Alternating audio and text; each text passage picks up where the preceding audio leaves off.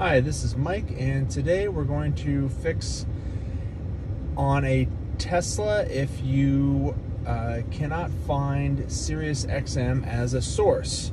So if you click streaming and look down on that list and you don't see Sirius XM there anywhere, one, and for me, this seems to drop out every time they do a software update what you want to do is click up here to audio settings and then click on sources. So you've got tone, balance, options, and then sources.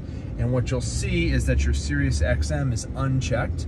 Go through and check that. You can uncheck other things to kind of get them out of your way if you don't subscribe to them. And then say okay. And now, when you click on streaming, Sirius XM will be right there. And all of your favorites should be saved. All right, good luck. Thank you.